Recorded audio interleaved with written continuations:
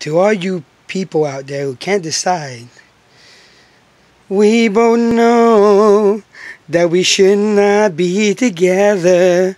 But if they found out, it can mess up both our happy home. How could something so wrong be so right?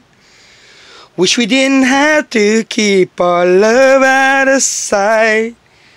Living two lives just ain't easy at all. And you gotta hang so that no one would know. Or, if loving you is wrong, I don't wanna be right. Happy Valentine's.